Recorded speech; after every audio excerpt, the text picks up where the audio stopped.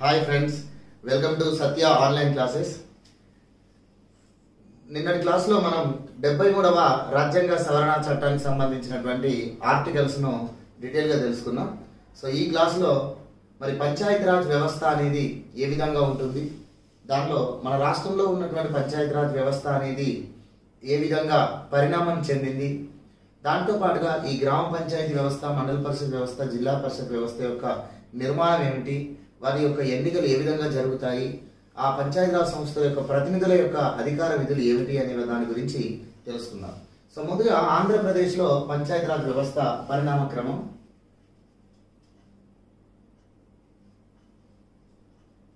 ఆంధ్రప్రదేశ్ రాష్ట్రంలో పంచాయతీరాజ్ వ్యవస్థ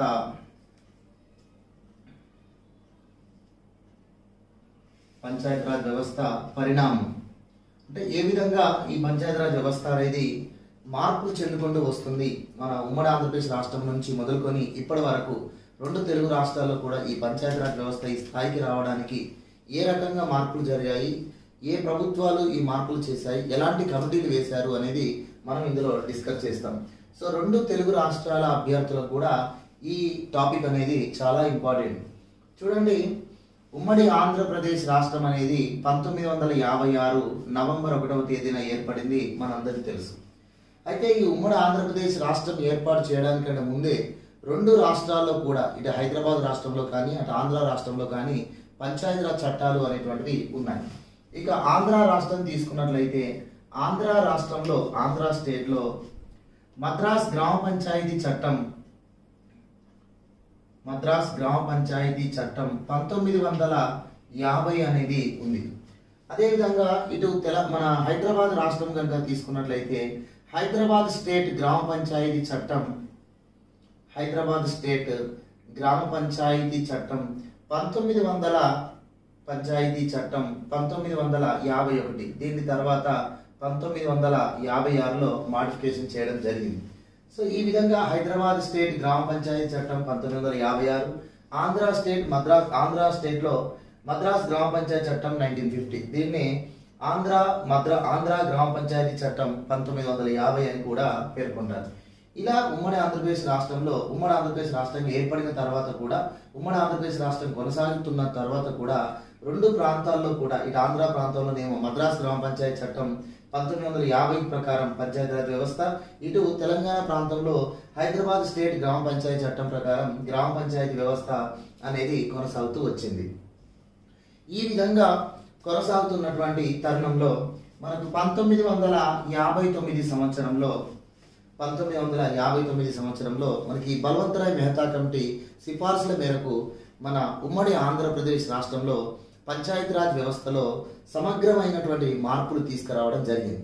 పంతొమ్మిది వందల యాభై తొమ్మిది సంవత్సరంలో బలవంతరాయ్ మెహతా కమిటీ ప్రకారం మన రాష్ట్రంలో మన ఉమ్మడి రాష్ట్రంలో ఇటు ఆంధ్ర తెలంగాణ ప్రాంతంలో తీసుకొచ్చినటువంటి పంచాయతీ వ్యవస్థలో తీసుకొచ్చినటువంటి ప్రధానమైనటువంటి కీలకమైన మార్పు ఏమిటయ్యా అంటే పంచాయతీ సమితిలను ఏర్పాటు చేయడం. పంచాయతీ సమితిలను ఏర్పాటు చేయడం అనేది ప్రధానమైనది. సో ఈ పంచాయతీ సమితిలనే బ్లాక్ పంచాయతీ లేదా తాలూకా పంచాయతీలు అని చెప్పేసి అనొచ్చు. బ్లాక్ పంచాయతీ తాలూకా పంచాయతీలు అని చెప్పేసి మనం పేర్కొనవచ్చు. ఇది నైన్టీన్ ఫిఫ్టీ నైన్లో మన రాష్ట్రంలో ఒక ఒక మాధ్యమిక స్థాయి వ్యవస్థగా ఏర్పడింది. అంటే అప్పటికే మన ఉమ్మడి ఆంధ్రప్రదేశ్ రాష్ట్రంలో జిల్లా బోర్డులు అనేవి ఉన్నాయి. సో ఈ జిల్లా బోర్డులు అనేవి పంతొమ్మిది వందల ఇరవైలో పంతొమ్మిది వందల ఇరవైలో మద్రాస్ జిల్లా బోర్డుల చట్టం ప్రకారం ఇటు ఆంధ్ర ప్రాంతంలో మరియు తెలంగాణ ప్రాంతంలో ఈ జిల్లా బోర్డులు అనేటువంటివి ఉన్నాయి. అదేవిధంగా ఇక ఆంధ్ర తెలంగాణ ప్రాంతంలో గ్రామ పంచాయతీలు అనేవి కూడా ఉన్నాయి. అర్థమవుతుందా? సో నైన్టీన్ ఫిఫ్టీ సిక్స్ నాటికే మన ఆంధ్ర తెలంగాణ ప్రాంతంలో మన ఉమ్మడి ఆంధ్రప్రదేశ్ రాష్ట్రంలో జిల్లా బోర్డులు ఉన్నాయి గ్రామ పంచాయతీలు ఉన్నాయి. సో గ్రామ పంచాయతీలు ఏమో హైదరాబాద్ గ్రామ పంచాయతీ చట్టం ప్రకారం కొనసాగుతున్నాయి.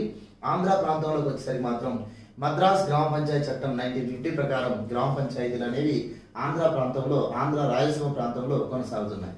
అయితే ఇక లేనటువంటి వ్యవస్థ ఏదయ్యా అంటే ఈ మాధ్యమిక వ్యవస్థ. అదే పంచాయతీ సమితి. దాన్ని తాలూకా పంచాయతీ బ్లాక్ పంచాయతీ అంటారు. సో ఈ వీటిని నైన్టీన్ ఫిఫ్టీ నైన్లో ఏర్పాటు చేశారు. నైన్టీన్ ఫిఫ్టీ నైన్లో బలవంతరాయ్ మెహతా కమిటీ సిఫార్సుల మేరకు బలవంతరాయ్ మెహతా కమిటీ ఏదైతే నైన్టీన్ ఫిఫ్టీ సెవెన్లో రికమెండేషన్ చేసిందో ఈ బలవంతరాయ్ మెహతా కమిటీ రికమెండేషన్ ప్రకారం నైన్టీన్ ఫిఫ్టీ నైన్లో మన ఉమ్మడి ఆంధ్రప్రదేశ్ రాష్ట్ర ప్రభుత్వం ఈ జిల్లా బోర్డులు గ్రామ పంచాయతీలతో పాటుగా పంచాయతీ సమితి అనేటువంటి ఒక కొత్త వ్యవస్థను ఒక మాధ్యమిక వ్యవస్థను ఏర్పాటు చేసింది. ఎప్పుడైతే ఈ మూడంచెల వ్యవస్థ అనేది ఏర్పడిందో దీన్ని మనం మూడంచెల పంచాయతీరాజ్ వ్యవస్థ అని అంటున్నాం. సో మూడంచెల పంచాయతీరాజ్ వ్యవస్థ అనేది మన ఆంధ్రప్రదేశ్ రాష్ట్రంలో మన ఉమ్మడి ఆంధ్రప్రదేశ్ రాష్ట్రంలో ఏ ఇయర్లో ఏర్పడిందంటే నైన్టీన్ ఫిఫ్టీ నైన్లో ఏర్పడింది. ఇక్కడ చూడండి పంచాయతీ సమితిలను ముందుగా ఎప్పుడు ఏర్పాటు చేశారంటే first nineteen fifty eight nineteen fifty నైన్లో నైన్టీన్ ఫిఫ్టీ నైన్లో అక్టోబర్ అక్టోబర్ పదకొండవ తేదీన పంతొమ్మిది వందల యాభై తొమ్మిది అక్టోబర్ పదకొండవ తేదీన ఫస్ట్ మనకు మహబూబ్ నగర్లో మహబూబ్ నగర్ షాద్ నగర్ను మొదటి పంచాయతీ సమితిగా ఏర్పాటు చేశారు. మహబూబ్నగర్ నగర్ షాద్ నగర్ను మొదటి పంచాయతీ సమితిగా ఏర్పాటు చేయడం జరిగింది. సో చూడండి ఒకవేళ ఇక్కడ కనిపించకపోతే ఇక్కడ రాస్తున్నాను. మన ఉమ్మడి ఆంధ్రప్రదేశ్ రాష్ట్రంలో మొదటి పంచాయతీ సమితి ఏదయ్యా అంటే నైన్టీన్ ఫిఫ్టీ నైన్ అక్టోబర్ లెవెన్త్న ఏర్పాటు చేశారు. అదే Mahbubnagar district Shadnagar అనేది మొదటి పంచాయతీ సమితి. మొదటి తాలూకా పంచాయతీ ఉమ్మడి ఆంధ్రప్రదేశ్ రాష్ట్రంలో. తర్వాత ఇక nineteen fifty nine November nineteen fifty nine November ఫస్ట్న November ఒకటవ తేదీన మన ఆంధ్రప్రదేశ్ రాష్ట్ర అవతరణ దినోత్సవం సందర్భంగా ప్రధానమంత్రిగా ఉన్నటువంటి నెహ్రూ ఆ రోజు మన రాష్ట్రాన్ని విచ్చేయడంతో ఆ సందర్భంగా ప్రధానమంత్రి చేతుల మీదుగా అఫీషియల్గా మనకు ఈ రంగారెడ్డి జిల్లాలోని ఈ రంగారెడ్డి జిల్లాలోని శంషాబాద్ వద్ద ఈ పంచాయతీ వ్యవస్థను ఈ పంచాయతీ సమితిని ఏర్పాటు చేసి మూడంచెల పంచాయతీ వ్యవస్థకు శ్రీకారం చుట్టడం జరిగింది. ఓకేనా?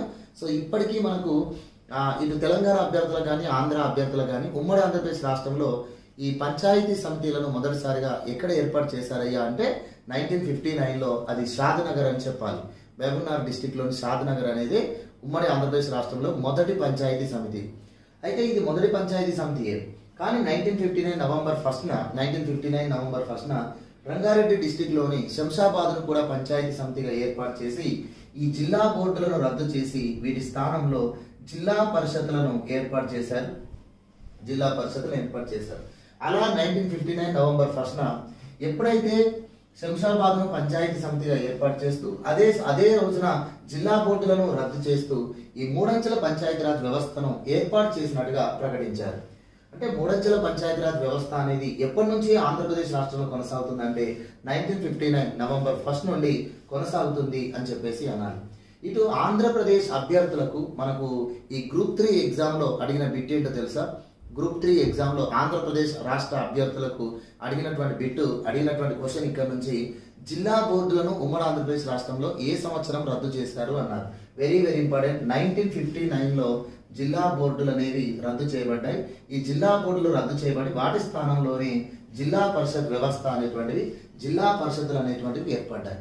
ఎప్పుడైతే జిల్లా బోర్డులు రద్దయి జిల్లా పరిషత్ అయినాయో ఇక పంచాయతీ సమితిలు తాలూకా పంచాయతీలుగా పిలువబడ్డాయి. దాని తర్వాత గ్రామ పంచాయతీలు అనేవి ఉన్నాయి. కాబట్టి జిల్లా పంచాయతీలు మరియు తాలూకా పంచాయతీలు మరియు గ్రామ పంచాయతీ. ఇలా మూడంచెల పంచాయతీ వ్యవస్థ అనేది nineteen fifty nine November first నుంచి మన ఉమ్మడి ఆంధ్రప్రదేశ్ రాష్ట్రంలో కొనసాగుతుంది. ఇటు తెలంగాణ అభ్యర్థులకు అడిగినటువంటి బిట్ ఏమిటయ్యా అంటే రెండు వేల పద్దెనిమిది అక్టోబర్లో తెలంగాణ రాష్ట్రంలో జూనియర్ పంచాయత్ సెక్రటరీ ఎగ్జామ్ జరిగింది. అందులో అడిగిన బిట్ ఏమిటయ్యా అంటే మొదటిసారిగా మన ఉమ్మడి రాష్ట్రంలో పంచాయతీ సమితిని ఏ ప్రాంతంలో మొదటిసారి ఏర్పాటు చేశారు అన్నారు. అది మహబూబ్ నగర్ జిల్లా షాద్ నగర్ అని చెప్పేసి మీరు గుర్తుంచుకోవాలి. ఓకేనా? ఇప్పుడు మరి ఆంధ్ర ప్రాంత అభ్యర్థులు కనుక ఇప్పుడు ఆంధ్ర రాష్ట్రం ఇప్పుడు ఉన్నటువంటి నవ్యాంధ్రప్రదేశ్ రాష్ట్రంలో మరి ఆనాడు నైన్టీన్ ఫిఫ్టీ నైన్లో ఈ పంచాయతీ వ్యవస్థను మూడంచెల పంచాయతీ వ్యవస్థను ఏర్పాటు చేసినప్పుడు ఈ పంచాయతీ సమితి అనేది మొదటిసారిగా ఏ జిల్లాలో ఏర్పాటు చేశారు అంటే శ్రీకాకుళం జిల్లాలో ఏర్పాటు చేశారు. ఇప్పుడు పదమూడు జిల్లాల ఆంధ్రప్రదేశ్ రాష్ట్రంలో ఈ పంచాయతీ సమితిని మొదటిసారిగా ఏ జిల్లాలో ఏర్పాటు చేశారంటే శ్రీకాకుళం జిల్లాలో ఏర్పాటు చేశారు. ఎప్పుడైతే శ్రీకాకుళం జిల్లాలో పంచాయతీ సమితి ఏర్పాటు చేశారో శ్రీకాకుళం జిల్లా జిల్లా పరిషత్గా మరియు ఆ జిల్లాలో కొన్ని గ్రామాలు గ్రామ పంచాయతీగా మరియు ఆ జిల్లాలోని కొన్ని గ్రామాలను పంచాయతీ సమితిగా ఏర్పాటు చేయడంతో ఇలా ఉమ్మడి ఆంధ్రప్రదేశ్ రాష్ట్రంలో నవ్యాంధ్రప్రదేశ్ ఉమ్మడి ఆంధ్రప్రదేశ్ రాష్ట్రంలో పదమూడు జిల్లాల అయినటువంటి ఆంధ్ర ప్రాంతంలో శ్రీకాకుళం అనేది మొదటిసారిగా మూడంచెల పంచాయతీ వ్యవస్థను తీసుకొచ్చినట్టుగా మనం చెప్పవచ్చు. ఇటు తెలంగాణ ప్రాంతాన్ని తీసుకుంటే మాత్రం మహబూబ్నగర్ జిల్లాలోని షాద్నగర్ మరియు అటు ఆంధ్ర ప్రాంతాన్ని తీసుకుంటే మొదటి పంచాయతీ వ్యవస్థ పంచాయతీ సమితిల శ్రీకారం ఏ జిల్లాలో జరిగిందంటే శ్రీకాకుళం అనే జిల్లాలో జరిగింది. మరి ఈ విధంగా మూడంచెల పంచాయతీ వ్యవస్థ కొనసాగుతున్నటువంటి ఈ తరుణంలో ఎక్కడా కూడా గ్రామ పంచాయతీ ఎన్నికలు అనేవి కొత్తగా జరగలేదు. ఎందుకంటే గ్రామ పంచాయతీ వ్యవస్థ అనేది నైన్టీన్ ఫిఫ్టీ నైన్లో మన రాష్ట్రంలో కొత్తగా ఏర్పాటు చేయలేదు. మన రాష్ట్రంలో కొత్తగా ఏర్పాటు చేసింది పంచాయతీ సమితిలను మరియు జిల్లా బోర్డులు రద్దు చేసి జిల్లా పరిషత్లను ఈ జిల్లా పరిషత్తులు పంచాయతీ సమితిలు ఏర్పడ్డాయి కానీ వాటికి ఎన్నికలు అనేవి పూర్తి స్థాయిలో ప్రజలు ఓటు వేసి ఎన్నుకోవడం అనేది ఏది కూడా జరగలేదు. అయితే మనకు దీని తర్వాత ఓ కమిటీ వేశారు. ఆంధ్రప్రదేశ్ రాష్ట్రంలో ఈ పంచాయతీ సమితి అనేటువంటిది కొత్తగా ఏర్పడ్డాయి కదా. మూడంచెల పంచాయతీ సం- మూడంచెల పంచాయతీ వ్యవస్థలో పంచాయతీ సమితిలు లేదా తాలూకా పంచాయతీలు అనేవి కొత్తగా ఏర్పాటు చేసిన వ్యవస్థ కాబట్టి ఈ వ్యవస్థ ఎంతవరకు సరిపోయేటువంటి ఎంతవరకు సరిపోతుంది ఈ వ్యవస్థ ఎంతవరకు కొనసాగించడానికి అవకాశం ఉంది అని చెప్పడానికి ఓ కమిటీ అనేటువంటిది వేయడం జరిగింది.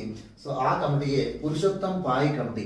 ఉమ్మడి ఆంధ్రప్రదేశ్ రాష్ట్రంలో పంచాయతీరాజ్ సంస్కరణల కోసం వేసినటువంటి మొదటి కమిటీగా దీన్ని మీరు భావించాలి.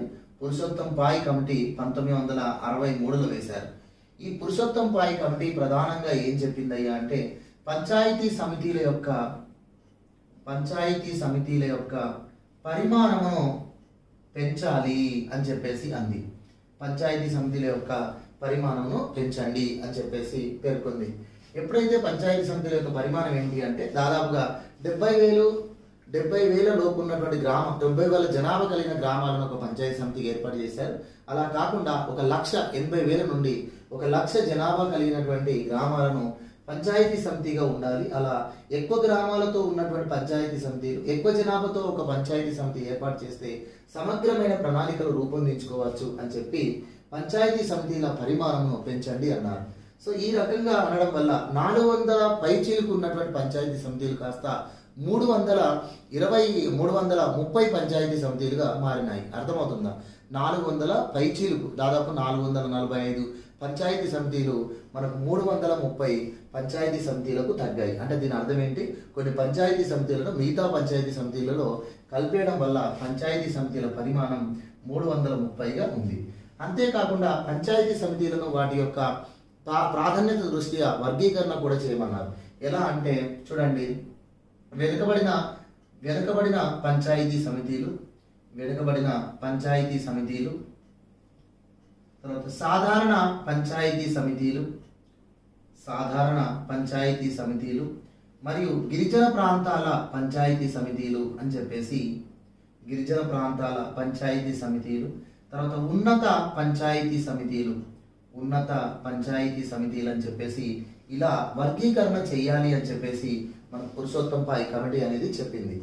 సో ఫస్ట్ ఆల్ పంచాయతీ సమితిల పరిమాణమును పెంచండి. సమగ్రమైన గ్రామీణ అభివృద్ధి ప్రణాళికలు రూపొందించుకోవడానికి అది దోహదపడుతుంది అని చెప్పారు. రెండవది పంచాయతీ సమితిలను వాటి స్వభావాన్ని బట్టి వాటి యొక్క ప్రాధాన్యతను బట్టి వర్గీకరణ చేయండి అన్నారు. ఆ వర్గీకరణలో కొన్ని పంచాయతీ సమితిలు అంటే మూడు వందల ముప్పై పంచాయతీ సమితిలలో ఏవైతే వెనుకబడితనంగా ఉన్నాయో ఏ ప్రాంతంలో అయితే అభివృద్ధి వెనుకబడి ఉందో ఆ ప్రాంతాలను వెనుకబడిన పంచాయతీ సమితిలని ఇక కొన్ని ప్రాంతాలను సాధారణంగా ఉన్నప్పుడు వాటిని సాధారణ పంచాయతీ సమితిలని మరియు ఎక్కడైతే గిరిజన ప్రాంతాలు ఉన్నాయో ఆ గిరిజన ప్రాంతాలు ఉన్నటువంటి పంచాయతీ సమితిలను గిరిజన పంచాయతీ సమితిలని తర్వాత పంచాయతీ సమితిలో ప్రాంతాల్లో ఏవెక్కువ డెవలప్ అయి ఉన్నాయో ఆ డెవలప్ అయి ఉన్నటువంటి గ్రామాలు కలిగిన పంచాయతీ సమితిలను ఉన్నత పంచాయతీ సమితిలుగా పేర్కొనాలి అని చెప్పేసి పురుషోత్తం పాయ్ పురుషోత్తం పాయ్ కమిటీ అనేది ఈ రకమైన రికమెండేషన్స్ చేసింది.